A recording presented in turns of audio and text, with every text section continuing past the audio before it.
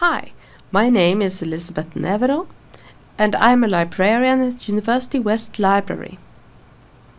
In the li library we often get a lot of questions about pictures and copyright. So, when is it allowed to use other people's pictures?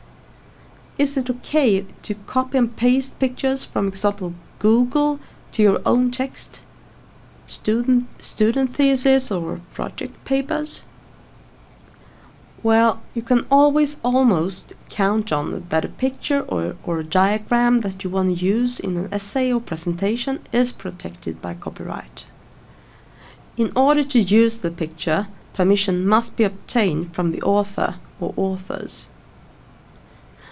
The original copyright holder is the person who made the picture, but the economic rights are often assigned to the publisher the permission can only be given by the owner of the rights.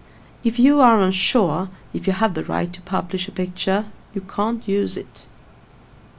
So ask for permission and tell the copyright owner your cause, where you want to publish his picture, and during which period of time.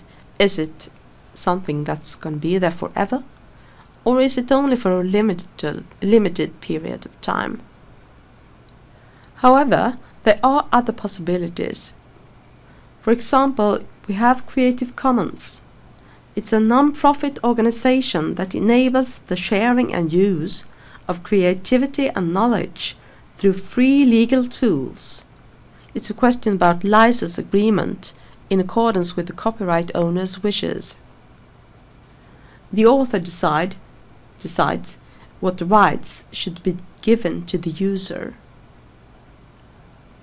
Other ways of finding free images is to go through Flickr Creative Commons and Wikimedia Commons, but always double check the material.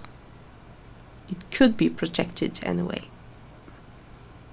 Another possibility is to use your own material. Use your own photos and tell the world it's yours. If you have any more questions, so please contact the University Library. Welcome!